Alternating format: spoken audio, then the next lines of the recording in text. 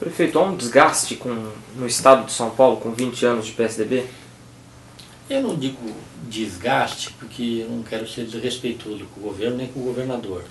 Mas é evidente depois de tanto tempo, e algumas respostas não, não acontecem, as pessoas vão ficando é, cansadas, não é?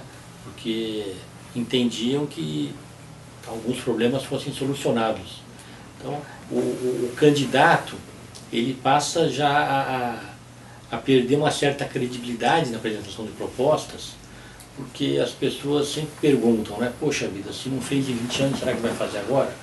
Então eu, eu diria que eu tenho que tomar muito cuidado, porque aconteceria isso com qualquer governo. No momento em que a candidata Marina deixa de ser candidata ou pré-candidata, é evidente que quando ela dá o seu apoio ao governador Eduardo Campos, ele ganha musculatura, é um apoio de peso, um apoio importante. Mas também ganha a presidenta Dilma, que deixa de ter uma adversária. Por mais que seja encorpada a candidatura do governador Eduardo Campos, também ganha a presidenta, ganha o governador Eduardo Campos. E o importante é que tenhamos a partir de agora principalmente entre esses três principais pré-candidatos, a discussão dos problemas do país. Mas isso pode mudar, reverter o apoio do PSD a presidente Dilma? Olha, é muito difícil, é uma decisão muito consolidada o apoio do partido à presidenta Dilma.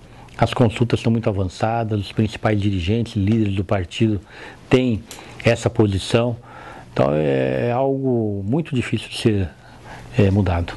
Em relação à candidatura aqui em São Paulo, o PSD vai ter candidato, vai apoiar o Alckmin, vai apoiar o Padilha, uma outra candidatura? Não, existe uma diretriz, uma recomendação é, do partido no plano nacional para que todos os estados se esforcem para ter uma candidatura própria a governador.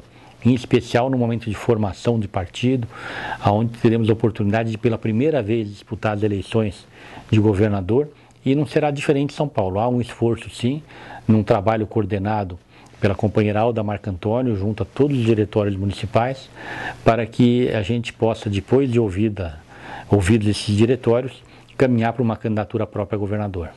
Seu candidato? Olha, em todos os momentos eu tenho dito que eu gostaria muito que o presidente do Banco Central, o ex-ministro Henrique Meirelles, fosse o nosso candidato a governador.